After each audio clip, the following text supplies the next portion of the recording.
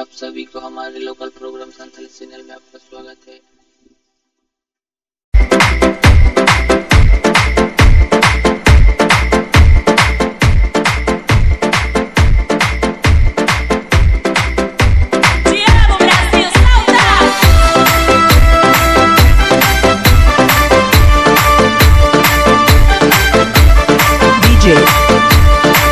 Shiva let's go.